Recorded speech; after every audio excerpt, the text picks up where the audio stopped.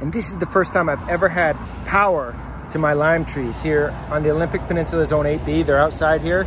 They're protected by this little greenhouse-like structure for the winter. I have power. I feel like I'm cheating, but let me show you what I did. There's the um, Persian lime, little Meyer lemon over there. South side of the house, warmest corner. I drilled into the house, right through the stucco, a hole saw, and then chiseled it out. I'm gonna have an outdoor outlet here, so I don't mind going through. I'm gonna patch that up. Outlet's connected there. Out through the stucco. And here they are at night. 20 incandescent volts. Water barrel to keep them warm. Bring on 25 degrees, baby.